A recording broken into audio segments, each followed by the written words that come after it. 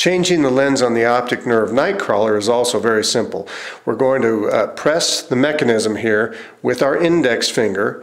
When you do that, it releases the frame and then you just pull your lens out. As you can see, the frame just moves like this.